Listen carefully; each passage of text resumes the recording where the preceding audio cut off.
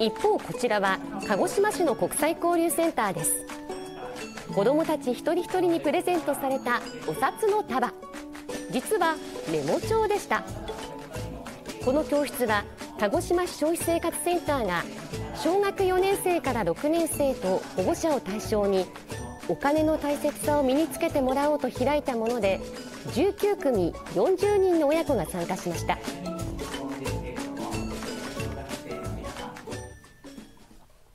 テーマとなったお小遣い。普段何気に使いがちなお金について子どもたちは改めて考えます。講師を務めたのはファイナンシャルプランナーの塩田光栄さんです参加した親子はお小遣いをうまく使うためのオリジナルの貯金箱作りに挑戦。お小遣いを使う貯めるの他に寄付やプレゼントに使う譲る。投資に使うつなぐという目的ごとに分かれた貯金箱が出来上がりました。参加した親子は改めてお金の大切さを実感したようでした。きなものを、えっと、ばっかり買うんじゃなく、えっと、貯めたりとかしていきたい。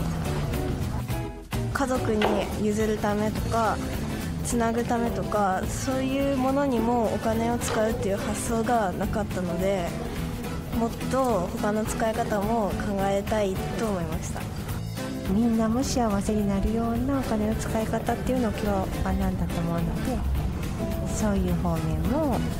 意識してもらえたらなと思い。ます